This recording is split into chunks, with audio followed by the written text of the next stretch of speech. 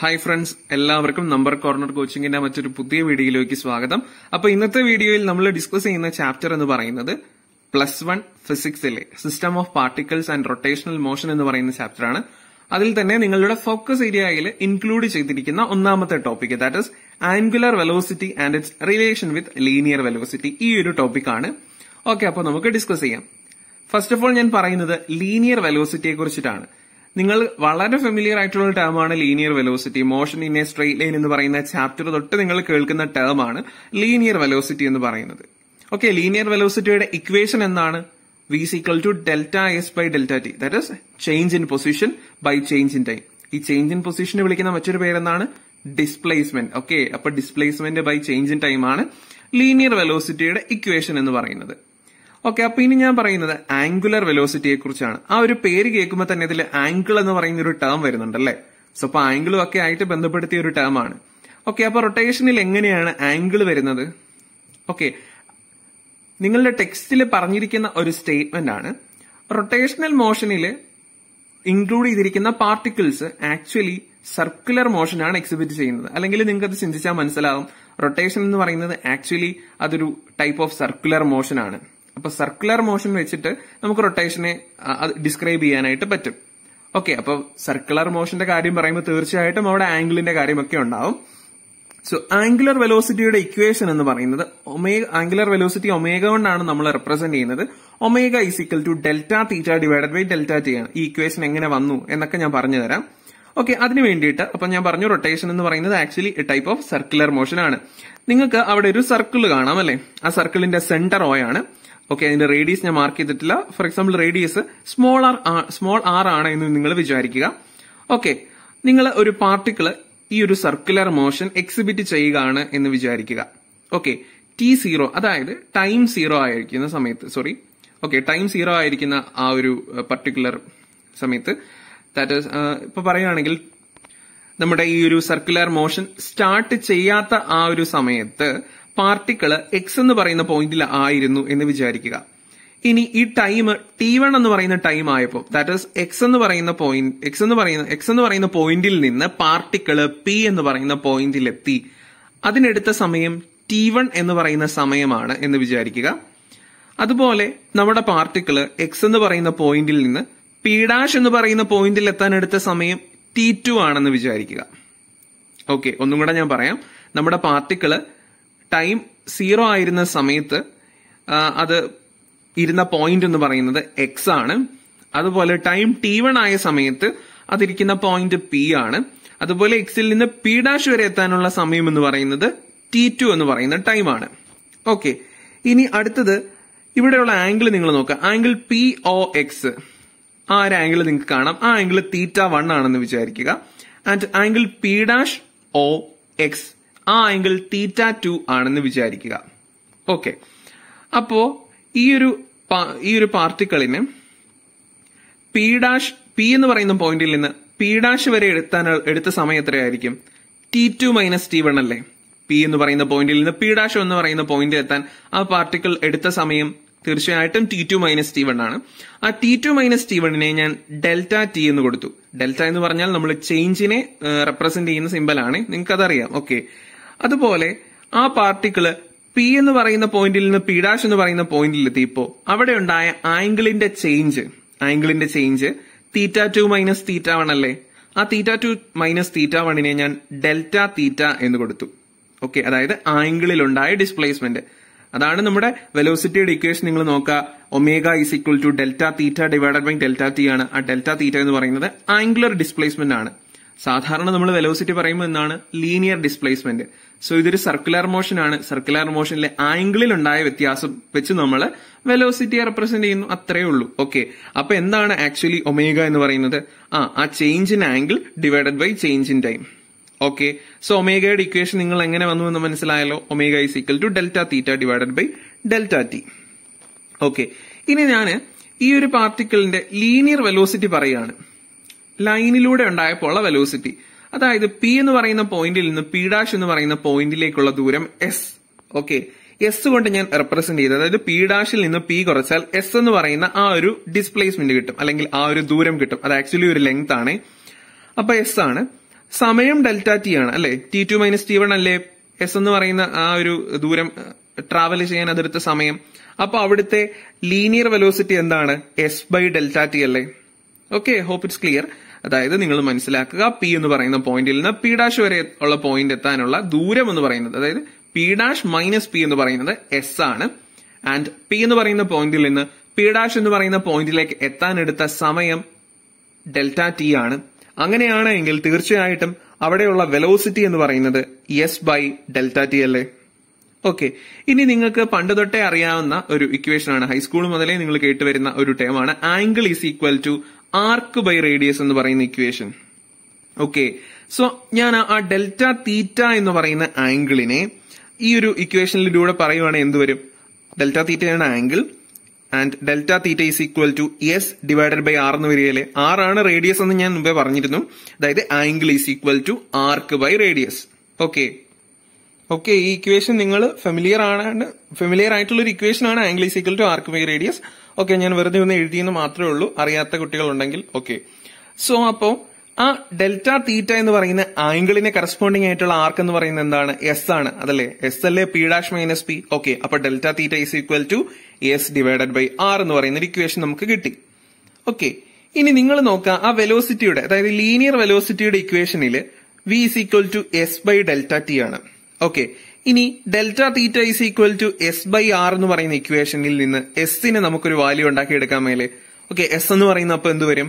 ആ ആറിനെ സൈഡിലേക്ക് ക്രോസ് മൾട്ടിപ്ലൈ ചെയ്യുമ്പോൾ s is equal to delta theta into r എന്ന് വരും. ആ എസിന്റെ വാല്യൂ ഞാൻ ഈ v is equal to s by delta t എന്ന് പറയുന്ന ഇക്വേഷനിൽ പോയിട്ട് സബ്സ്റ്റിറ്റ്യൂട്ട് ചെയ്താൽ v is equal to delta theta into r divided by delta t എന്ന് വരും. ഇനി delta theta divided by delta t മുമ്പേ നമ്മൾ കണ്ട ഒരു ടേമാണ് അതായത് അത് ആംഗുലർ വെലോസിറ്റിയുടെ ഇക്വേഷൻ അല്ലേ? അതായത് ആംഗുലർ ഡിസ്പ്ലേസ്മെന്റ് ആംഗിളിൽ ഉണ്ടായ change divided by time okay അപ്പൊ delta theta by delta T എന്ന് പറയുന്നത് ഒമേഗയാണ്. So V is equal to omega R അപ്പൊ നമ്മുടെ ആംഗുലർ വെലോസിറ്റിയും ലീനിയർ വെലോസിറ്റിയും തമ്മിലുള്ള ഇക്വേഷൻ നമ്മൾ ഉണ്ടാക്കിയെടുത്തു. V is equal to omega into R തീർച്ചയായിട്ടും ഈ ഒരു ഡെഫിനിഷൻ ഒന്നും നിങ്ങളുടെ പരീക്ഷയ്ക്ക് ചോദിക്കാനായിട്ട് ഒട്ടും ചാൻസ് ഇല്ല. ഇത് വെച്ചിട്ട് ക്വസ്റ്റ്യൻസ് ആയിരിക്കും ചോദിക്കുന്നത്. സോ നിങ്ങൾക്ക് വളരെ കാര്യങ്ങൾ നന്നായിട്ട് മനസ്സിലാകാൻ വേണ്ടിയിട്ടാണ് ഞാൻ ഇതിന്റെ ഡെറിവേഷൻ ഇതെങ്ങനെ വന്നു എന്ന് നിങ്ങൾക്ക് വളരെ വ്യക്തമായിട്ട് പറഞ്ഞു തന്നത്. ഓക്കെ അപ്പൊ ഇത് വെച്ച് നമുക്ക് ഒരു പ്രോബ്ലം ചെയ്യാം. ആ ഒരു ടൈപ്പ് പ്രോബ്ലംസ് ആയിരിക്കും മിക്കവാറും നിങ്ങൾക്ക് ചോദി നിങ്ങളോട് ചോദിക്കാൻ ചാൻസ് ഉള്ളത്. ഓക്കെ അപ്പൊ നമുക്കൊരു ക്വസ്റ്റ്യനിലേക്ക് കടക്കാം. ഓക്കെ ക്വസ്റ്റ്യൻ ഇതാണ്. A particle move in a circle of radius twenty centimetre so നിങ്ങൾ ഈ ഒരു ക്വസ്റ്റ്യൻ ഒക്കെ വായിക്കുമ്പോൾ ആദ്യം തന്നെ ആ പറയുന്ന വാല്യൂസ് ഒക്കെ ഒന്ന് വെറുതെ എഴുതി വെക്കാം. അതായത് that is small R is equal to twenty centimetre നിങ്ങൾ സ്മോൾ ആർ ആണ് റേഡിയസിന് എടുത്തതെന്നൊക്കെ അറിയിക്കാൻ വേണ്ടിയിട്ട്. With a linear speed of ten metre per second so linear speed തന്നിട്ടുണ്ട് ten metre per second and find the angular velocity അങ്ങനെയാണെങ്കിൽ angular velocity എത്രയാണെന്നാണ് നമ്മളോട് കണ്ടുപിടിക്കാൻ പറഞ്ഞിരിക്കുന്നത്. നിങ്ങൾക്കറിയാം linear velocity is equal to omega that is angular velocity into radius ആണ് equation അപ്പോൾ omega എന്ന് പറയുന്നത് linear velocity divided by radius that is omega is equal to V by R ആണ്. ഓക്കെ അപ്പൊ ഇവിടെ വി തന്നിട്ടുണ്ട് പത്ത് മീറ്റർ പെർ സെക്കൻഡ് എന്ന്. Okay ten metre per second അതുപോലെ വെലോ സോറി അതുപോലെ റേഡിയസ് തന്നിട്ടുണ്ട് ട്വന്റി സെന്റിമീറ്റർ ഓക്കെ നമ്മൾ ഇക്വേഷനിൽ ഇതൊക്കെ സബ്സ്റ്റിറ്റ്യൂട്ട് ചെയ്ത് എഴുതുമ്പോൾ നിങ്ങൾ മനസ്സിലാക്കുക ഇതിനെയൊക്കെ നമ്മൾ എസ് ഐ യൂണിറ്റിലേക്ക് കൺവേർട്ട് ചെയ്തിട്ട് വേണം എഴുതാൻ. അതായത് അപ്പൊ നമ്മൾ ഈ ട്വന്റി സെന്റിമീറ്ററിനെ മീറ്ററിലേക്ക് കൺവേർട്ട് ചെയ്യാൻ വേണ്ടിയിട്ട് twenty into ten raise to minus two കൊണ്ട് മൾട്ടിപ്ലൈ ചെയ്യാണ്. സോ ആ ten raise to minus two മുകളിൽ പോകുമ്പോൾ ടെൻ റൈസ് ടു ടു ആവും. സോ അത് തൗസൻഡ് ഡിവൈഡഡ് ബൈ ട്വന്റി എന്ന് വരും. സോ അതെന്ന് പറയുന്നത് ഫിഫ്റ്റി ഓക്കെ ഇനി ഞാൻ ഇവിടെ കൊടുത്തിരിക്കുന്ന യൂണിറ്റ് നോക്കുക. റേഡിയൻ പെർ സെക്കൻഡ് നിങ്ങൾ മനസ്സിലാക്കുക. ആംഗുലർ വെലോസിറ്റിയുടെ യൂണിറ്റ് എന്ന് പറയുന്നത് റേഡിയൻ പെർ സെക്കൻഡ് ആണ്. സോ നിങ്ങൾ ഇങ്ങനെ ഒരു ചോദ്യം ചോദിക്കുകയാണെങ്കിൽ തീർച്ചയായിട്ടും അതിന്റെ യൂണിറ്റും കൂടെ എഴുതണം. ആ യൂണിറ്റിന് ചിലപ്പോൾ അവർ മാർക്ക് കുറയ്ക്കാം. സോ നിങ്ങൾ മീൻസ് ഇതിന്റെ യൂണിറ്റ് ഇതാണെന്ന് വളരെ വ്യക്തമായിട്ട് അറിഞ്ഞിരിക്കും ഇപ്പൊ നമ്മളോട് ഡിസ്പ്ലേസ്മെന്റ് ഒക്കെ കണ്ടുപിടിക്കാൻ ചോദിക്കുമ്പോൾ മീറ്ററിൽ എഴുതുക. വെലോസിറ്റി കണ്ടുപിടിക്കാൻ ചോദിക്കുമ്പോൾ മീറ്റർ പെർ സെക്കൻഡിൽ എഴുതുക. ചുമ്മാ വാല്യൂ എഴുതാതെ കറക്റ്റ് ആ ഒരു യൂണിറ്റും കൂടെ എഴുതുകയാണെങ്കിൽ കൂടുതൽ നന്നായിരിക്കും. ഓക്കെ അതിന് ചിലപ്പോൾ മാർക്ക് കുറച്ചാലും നിങ്ങൾക്ക് ഒരു തരത്തിൽ മാർക്ക് പോവാതിരിക്കാൻ വേണ്ടിയിട്ടാണ് ഞാനത് പറഞ്ഞു തന്നത്. ഓക്കെ റേഡിയൻ എന്ന് നിങ്ങൾക്ക് റേഡിയനും ആംഗിളും തമ്മിലുള്ള റിലേഷൻ ഒക്കെ നിങ്ങൾക്ക് അറിയാം. സോ അതിപ്പോ നമ്മൾ പറയണ്ട. ഇപ്പൊ നിങ്ങൾ റേഡിയൻ പെർ സെക്കൻഡിൽ പറഞ്ഞാൽ മതി. ഓക്കെ നമുക്കറിയാം പൈ റേഡിയൻ എന്ന് പറയുന്നത് വൺ എയ്റ്റി ഡിഗ്രി ആണ് യൂണിറ്റ്സ് ആൻഡ് മെഷർമെന്റ്സിൽ പറഞ്ഞതാണ്. ഞാനത് ജസ്റ്റ് ഇവിടെ ഒന്നും കൂടെ ഓർമ്മിപ്പിച്ചെന്ന് മാത്രമേ ഉള്ളൂ. ഓക്കെ അപ്പൊ നിങ്ങൾക്ക് അൻപത് റാഡ് പെർ സെക്കൻഡ് എന്ന് കിട്ടി. ഓക്കെ അപ്പൊ നിങ്ങൾക്ക് ആംഗുലർ വെലോസിറ്റിയും ലീനിയർ വെലോസിറ്റിയും തമ്മിലുള്ള റിലേഷൻ നന്നായി മനസ്സിലായി എന്ന് ഞാൻ വിചാരിക്കുന്നു.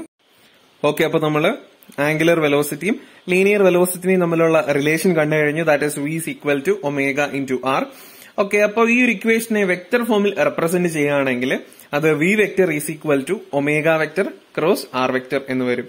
പ്രത്യേകം ശ്രദ്ധിക്കുക ഇവിടെ ക്രോസ് പ്രോഡക്റ്റ് ആണ് എടുത്തിരിക്കുന്നത്.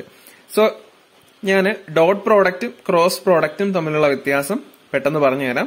ഓക്കെ ഫോർ എക്സാമ്പിൾ നിങ്ങൾ രണ്ട് വെക്ടറുകൾ സങ്കല്പിക്കുക ഉദാഹരണത്തിന് എ വെക്ടറും ബി വെക്ടറും സോ ഈ വെക്ടറിന്റെ ഈ രണ്ട് വെക്ടറിന്റെയും ഡോട്ട് പ്രോഡക്റ്റിനെ നമ്മൾ റെപ്രസെന്റ് ചെയ്യുന്നത് A vector dot B vector എന്നാണ്. ആൻഡ് എ ഡോട്ട് ബി എന്ന് പറയുന്നത് magnitude of A into magnitude of B into cos theta theta എന്ന് പറയുന്നത് ഈ രണ്ട് വെക്ടറുകൾക്ക് ഇടയിലുള്ള ആംഗിൾ ആണ്. ഓക്കെ സോ നമുക്ക് ഈ രണ്ട് വെക്ടറിന്റെ ഡോട്ട് പ്രോഡക്റ്റ് എടുക്കുകയാണെങ്കിൽ നമുക്ക് കിട്ടുന്നത് ഒരു സ്കേലാർ ക്വാണ്ടിറ്റി ആയിരിക്കും. ഓക്കെ അതിന് ഡയറക്ഷൻ ഒന്നും കാണില്ല. ഒരു മാഗ്നിറ്റ്യൂഡ് മാത്രമേ കാണുള്ളൂ. ഓക്കെ ഇനി നമ്മൾ എടുക്കുന്നത് എ വെക്ടറിന്റെയും ബി വെക്ടറിന്റെയും ഡോട്ട് ക്രോസ് പ്രോഡക്റ്റ് ആണെങ്കിൽ that is A cross B ആണെങ്കിൽ അതിന്റെ ഇക്വേഷൻ എന്ന് പറയുന്നത് A B sine theta into N cap ആണ്. അപ്പോ ക്രോസ് പ്രോഡക്റ്റിൽ നമുക്ക് കിട്ടുന്നത് ഒരു വെക്ടർ ക്വാണ്ടിറ്റി ആണ്. പ്രത്യേകം നോട്ട് ചെയ്യുക. എ ഡോട്ട് ബി എന്ന് പറയുന്നത് ഒരു സ്കേലാർ ആണ്. ആൻഡ് എ ക്രോസ് ബി എന്ന് പറയുന്നത് ഒരു വെക്ടർ ക്വാണ്ടിറ്റി ആണ്. ഓക്കെ ഇനി നിങ്ങൾ മനസ്സിലാക്കേണ്ട മറ്റൊരു പോയിന്റ് എന്ന് പറയുന്നത് for example A cross B ചെയ്തപ്പോൾ നമുക്ക് സി എന്ന് പറയുന്ന വെക്ടർ ആണ് കിട്ടിയത് എങ്കിൽ സി എന്ന് പറയുന്ന വെക്ടർ എ എന്ന് പറയുന്ന വെക്ടറിനും ബി എന്ന് പറയുന്ന വെക്ടറിനും പെർപെൻഡിക്കുലർ ആയിരിക്കും. ഓക്കെ നിങ്ങൾക്ക് ഈ ഒരു ഫിഗറിൽ കാണാം. എ വെക്ടറും കാണാം ബി വെക്ടറും കാണാം. സോ ഇതിന് രണ്ടിനും പെർപെൻഡിക്കുലർ ആണ്. അതായത് എയ്ക്കും പെർപെൻഡിക്കുലർ ആണ് ബിക്കും പെർപെൻഡിക്കുലർ ആണ്. ആര്? സി എന്ന് പറയുന്ന vector so A cross B പറയുമ്പോൾ എയ്ക്കും ബിക്കും പെർപെൻഡിക്കുലർ ആയിട്ടുള്ള ഒരു വെക്ടർ ആയിരിക്കും അവരുടെ വെക്ടർ പ്രോഡക്റ്റ് ആയിട്ട് നമുക്ക് കിട്ടുന്നത്. ഓക്കെ ഓക്കെ ഇനി എങ്ങനെയാണ് ഒരു വെക്ടറിന്റെ മാഗ്നിറ്റ്യൂഡ് എടുക്കുന്നത്? ഫോർ എക്സാമ്പിൾ എ വെക്ടർ എന്ന് പറയുന്നത് two I cap plus three J cap plus four K cap ആണെങ്കിൽ എ വെക്ടറിന്റെ മാഗ്നിറ്റ്യൂഡ് എന്ന് പറയുന്നത് magnitude of A vector is equal to root of two square plus three square plus four square that is equal to root twenty nine ഇങ്ങനെയാണ് എടുക്കുന്നത്. Okay അപ്പം നമ്മൾ angular velocity ഒരു vector quantity ആണെന്ന് കണ്ടു. അപ്പോൾ ഇനി നിങ്ങളോട് ഇതൊരു വെക്ടർ ക്വാണ്ടിറ്റി ആണല്ലോ. അതിന്റെ ഡയറക്ഷനും ചോദിക്കാനുള്ള ചാൻസ് കൂടുതലാണ്. ഒരു വെക്ടർ ക്വാണ്ടിറ്റി ആയതുകൊണ്ട് തന്നെ ആംഗുലർ വെലോസിറ്റിയുടെ ഡയറക്ഷൻ ചോദിക്കാനുള്ള ചാൻസ് ഉണ്ട്. സോ അതെങ്ങനെ നമുക്ക് കണ്ടുപിടിക്കാം?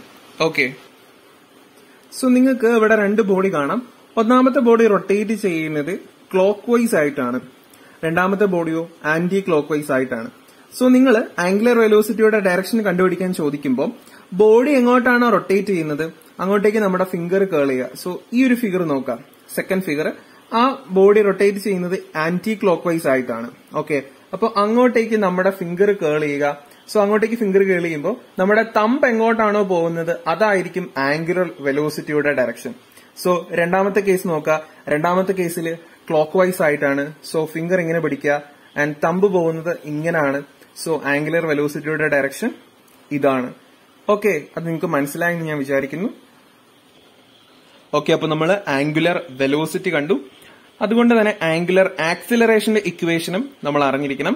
നമുക്കറിയാം നമ്മൾ സാധാരണ കണ്ടുപിടിക്കുന്ന ലീനിയർ ആക്സിലറേഷൻ എന്ന് പറയുന്നത് actually rate of change of velocity ആണ്. ദാറ്റ് ഇസ് എ എന്ന് പറയുന്നത് D V by D T ആണ് അല്ലെ?